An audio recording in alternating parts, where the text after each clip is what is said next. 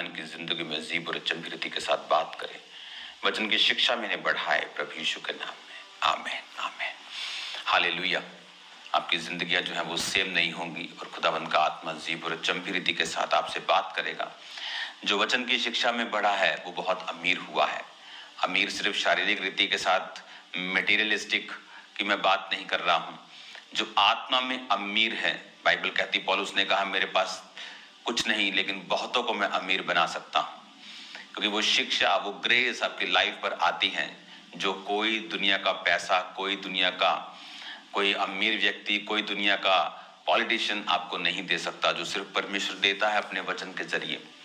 इसलिए उसने कहा है कि मैं अपने वचन को भेजकर अपने लोगों को चंगा करूँगा। आज हम उस शिक्षा को कंटिन्यू जारी रखेंगे, पहला राजा एक, उसकी पाँच और छह आज जो हमने पढ़ा था। कि हगीत का पुत्र ओदनिया सिर ऊँचा करके कहने लगा, मैं राजा बनूँगा। और उसने रथ और सवार और अपने आगे आगे दौड़ने को पचास पुरुष रख लिए। तो यहाँ पर दो व्यक्ति हैं। एक है ओदनिया, जो खुद राजा बनना चाहता था। एक अच्छी बैकग्राउंड से था। एक था सुलेमान, जिसको दाऊद ने कहा था कि ये मेरे बाद राजगद्दी के ऊपर बैठेगा, जो बेतशेबा का बेटा था। एक बेटा जो उसका व्यभिचार से उत्पन्न हुआ, वो मर गया था। लेकिन ये बेटा जब उसकी पत्नी के बाद लीगली पैदा हुआ तो परमेश्वर ने उस पर दया की और उसको माफ़ होने का, माफ़, माफ़ी उसकी हो चुकी है, एक उसको प्रमाण भी दिया। तो अब यहाँ पर लिखा है कि उसके पिता ने जन्म से लेकर उसे कभी उदास नहीं किया था कि तूने ऐसा क्यों किया। वचन कहता है कि उसको कभी उदास नहीं किया दाऊद ने। यह दाऊद की लाइफ की बहुत बड़ी कमी थी। दाऊद की लाइफ की कमी थी कि वो अपने बच्चों को डांटता नहीं था। वचन कहता है कि जब तू अपने लड़के को छड़ी से मारेगा तो वो मरेगा नहीं। वचन कहता है कि छड़ी के साथ यदि तू उसको अनुशासित करेगा तो वो सदा जीवित रहेगा। आज बहुत से घर हैं जहाँ बच्चों को अनुशासित नहीं किया जाता, जहाँ बच्चों को उनको सेट नहीं किया जाता। उनकी कमियों को पहले ये देख कर छोड़ा जाता है, अभी बच्चे हैं। फिर जवान है जी, कोई गलती ना कर बैठे जी। फिर वो बड़े हो गए हैं जी, और इसी तरह से वो जो बेवकूफियाँ हैं, वो अपनी लाइफ टाइम करते हैं। लेकिन वचन कहता है कि अपने बच्चों को उस पाथ में, उस रास्तों में ट्रेनिंग दो, जहाँ तुम उसे चलते हुए देखना चाहते हो। जब वो अपनी जवानी में पहुंचेगा, उस रास्ते से वो कभी हटेगा नहीं।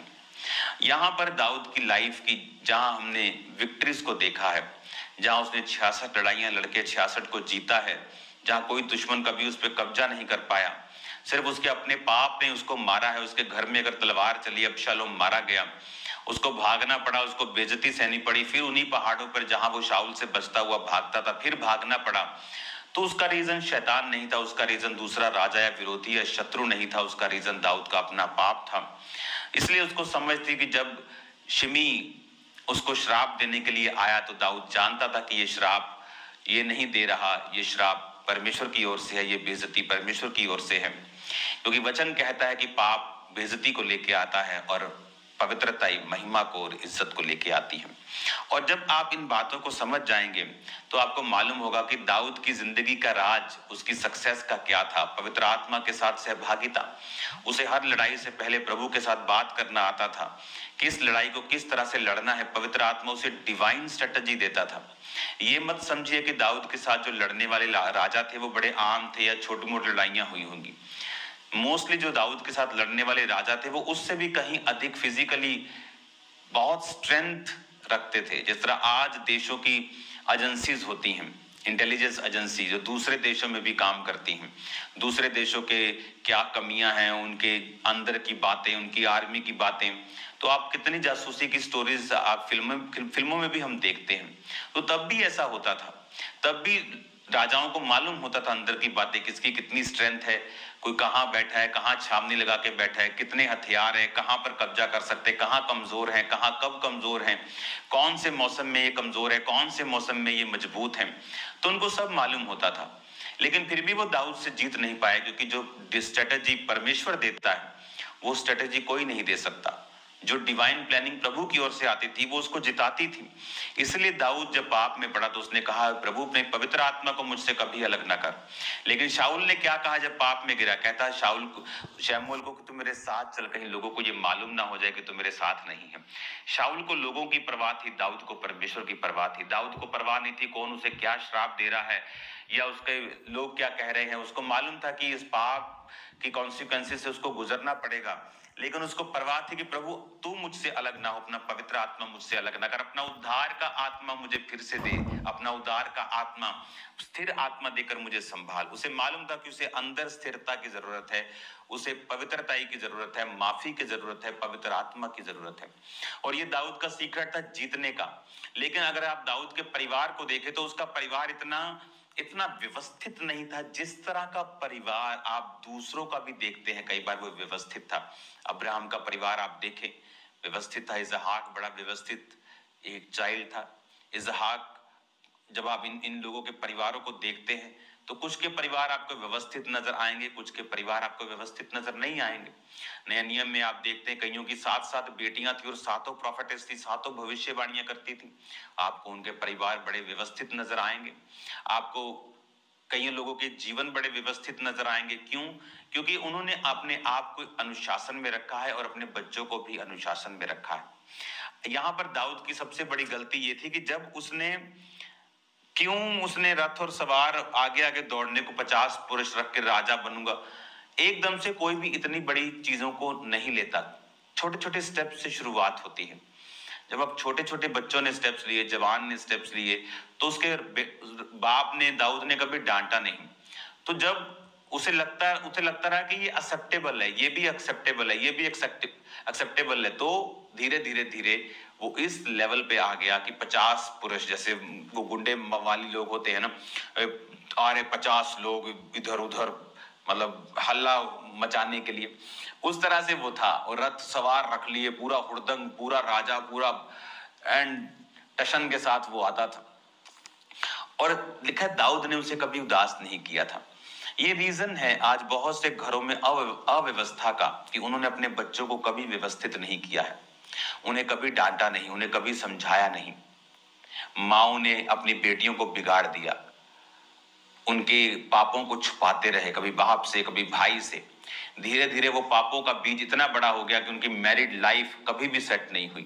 पहले जवानी में पापों को छुपाते रहे, अब मैरिड लाइफ में वही स्पिरिट्स उनको फॉलो कर रही हैं। बाइबल कहती है कि दाऊद जब बहुत बूढ़ा था तो उसको कपड़े उड़ाए जाते थे, लेकिन वो गर्म नहीं होता था। उसके लिए कुंवारी ढूंढी गई जो उसकी सेवा करे।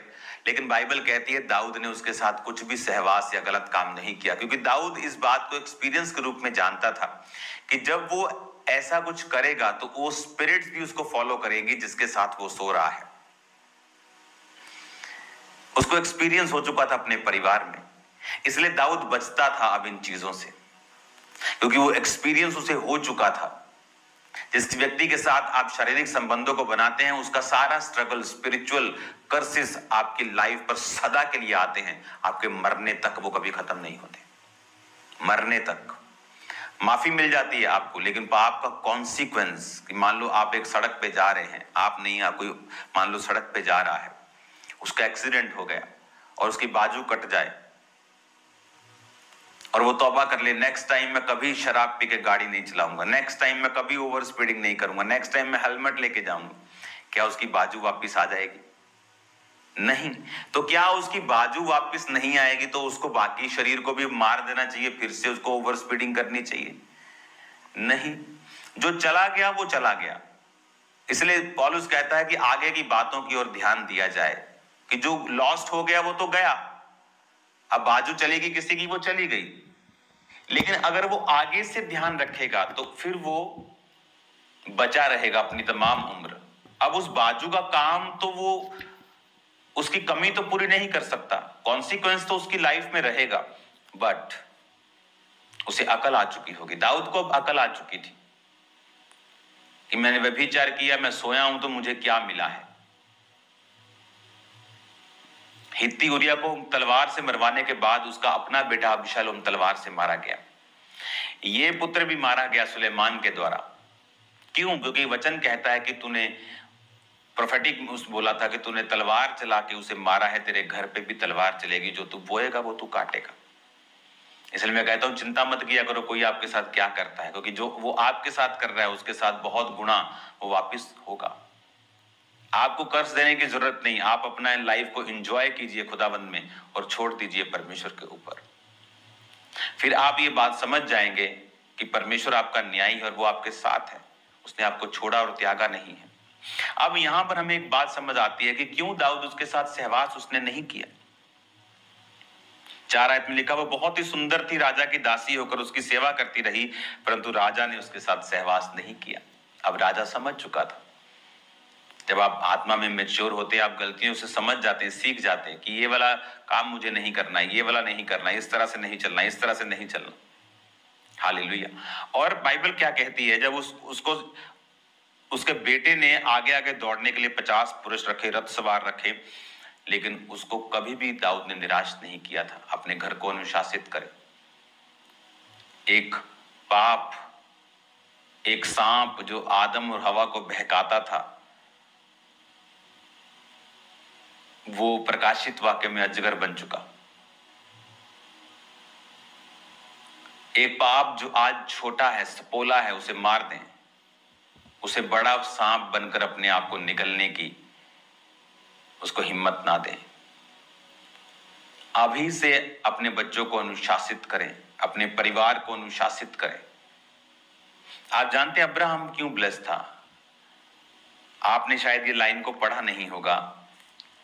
उसमें लिखा है, परमेश्वर ने कहा, अब्राहम को अपना दोस्त मैं इसलिए मानता हूँ कि मुझे ये मालूम है कि अब्राहम अपने बाद अपने परिवार को मेरे में चलने की आज्ञा देगा। अब्राहम, हमें, हम जब बाइबल पढ़ते हैं, जितने अनॉइंटेड मैन ऑफ़ गॉड हैं, आपको स्ट्रिक्ट मिलेंगे। मोस्टली मैं आपको बता रहा हूँ। एलिया अलीशा को बोलता है, चल, कहता मैं किसी करो मम्मी पापा को? चुमाऊ बाय मम्मी, बाय पापा। कहता भाग जाए यहाँ से। तेरे क्या बोला मैंने तेरे को? मतलब वो उसको इतना टाइम नहीं देना चाहता था कि वो अपने माँ बाप को उस हिसाब बताए कि उससे इतने पैसे दे लेना, ये मैंने बैल जला दिए हैं, इसको जो ज़मीन है, इसको ठेके पे दे देना। No time strict Alisha strict मेहमान आया, नहीं बाहर नहीं जाना है। उसको बोल दो। स्ट्रिक्ट अगर आप देखेंगे, पवित्र आत्मा के जो गहरे भेदों को समझते हैं, अब्राहम, परमेश्वर ने कहा, अब्राहम के अंदर एक खासियत है। ये अपने परिवार को भी आज्ञा देगा। अब्राहम ने बताया था काका, ये सब प्रॉपर्टी खरबों की तेरी है, लेकिन जब तू परमेश्वर का है, अगर तू प्रभु का नहीं है तो मैं तेरा नहीं हूँ। वेरी स्ट्रिक्ट कुछ लोग आत्मा में स्ट्रिक्ट है, उनके बच्चे भी फिर बहुत ज़बरदस्त रीति के साथ आत्मिक निकलते हैं। ओवर स्ट्रिक्ट स्ट्रिक्ट होना बाइबल हमें नहीं सिखाती। है वो हमें प्यार करना भी सिखाती है। सॉफ्ट होना भी सिखाती है। लेकिन कुछ विषयों के ऊपर वो हमें स्टैंड लेना भी सिखाती है। हर टाइम मीठे बनना नहीं सिखाती। हर टाइम कड़वे बनना नहीं सिखाती। आप अपनी बॉडी को रोज मीठा देंगे, आप बीमार हो जाएँगे आप रोज कड़वा खाएँगे, आप सहन नहीं कर पाएँगे। तो कभी आप कड़वा खाते हैं, आपकी स्किन अच्छी रहे, आपकी बॉडी अच्छी रहे, आप मीठा खाते हैं, आपके सेल्स को चाहिए। जिस तरह आप बैलेंस खान पान में कर सकते हैं, अपनी लाइफ में क्यों नहीं कर सकते? अपने बच्चों की जिंदगियों में क्यों नहीं कर सकते? यहाँ पर मेजर प्रॉब्लम थी ओदनिया के बिगड़ने की कि उसके बाप ने कभी भी उसको डांटा नहीं था। उसके बाप ने कभी उसको निराश नहीं किया था। हालेलुया। जब उसके, उसने छोटे स्टेप्स लिए, जब उसको डांट दिया जाता तो वो कभी भी अगला स्टेप नहीं लेता। लेकिन वो स्टेप्स लेता गया, बदतमीजियाँ करता गया, वो करता इतना इतना बढ़ गया। और उसे ये मालूम था कि सुलेमान के बारे में भविष्यवाणी हुई है। लेकिन फिर भी वो ढीठ बना रहा और शरीर से उस कुर्सी को लेना चाहा, जो परमेश्वर ने पहले ही आत्मिक रूप से सुलेमान के लिए रख दी है। तो जो शारीरिक व्यक्ति हैं, वो अपने सोर्सेस को यूज़ करते हैं, पैसे को यूज़ करते हैं इन्फ्लुएंस को यूज़ करते हैं। लेकिन जो आत्मिक व्यक्ति हैं, वो परमेश्वर की प्रतिज्ञाओं को यूज़ करते हैं कि धर्मी का वंश बचाया जाएगा। यहोवा मेरा चरवाहा अब आपको ये बात समझनी पड़ेगी कि आप अपने घराने को बिना अनुशासित किए एक जयवंत जीवन मसीह में नहीं जी सकते। अब आपको ये बात बड़े ध्यान से समझनी है। पहला प्यार प्रभु से करो। अगर पहला प्यार प्रभु है तो आप नॉनसेंस बर्दाश्त नहीं करेंगे अपने आसपास। लेकिन अगर पहला प्यार परिवार से है, बेटे से, बेटी से, बाप से, माँ से, पैसे से बिज़नेस से, शरीर से, इज़्ज़त से है आप चेले होने के काबिल नहीं है, वचन कहता है। आपको फ़र्स्ट लव परमेश्वर को करना है। तब आप ऐसी नॉनसेंस स्पिरिचुअली टॉलरेट नहीं करेंगे। आपके घर में प्रेयर नहीं हो रही होगी, बच्चे आपके बिज़ी हैं ट्यूशन जा रहे ट्यूशन से आ रहे, पढ़ाई पढ़ाई पढ़ाई। दैट्स रॉन्ग वेरी रॉन्ग ऐसी कोई पढ़ाई फ्रूटफुल नहीं है जो आपके बच्चों की एक घंटा, डेढ़ घंटा प्रेयर भी ना करने दे। पढ़े वो। वचन कहता है, जब तू मेरे में चलेगा, मैं तुझे एक्सेलेंट स्पिरिट दूँगा। आपके बच्चे नंबर वन होने चाहिए आपकी क्लास में। ये गवाही होगी उनके लिए कि आप जीसस को मानते हैं, आप नंबर वन कुछ लोग पढ़ाई में नहीं, कुछ और लाइंस में आगे बढ़ेंगे। सबके ऊपर पढ़ाई का बोझ मत डालें। देखें आपके बच्चे की कॉलिंग क्या है। वो आप संसारिक मोटिवेशनल स्पीकर से भी आप सुन सकते हैं। लेकिन जो मैं आपको सिखाना चाहता हूँ, वो स्पिरिचुअल है। अपने बच्चों की आदतें देखें। वो छूट तो नहीं बोल रहे छोटी छोटी चीज़ों में। डर कर झूठ तो नहीं बोलते। डाउट में झूठ तो नहीं बोलते।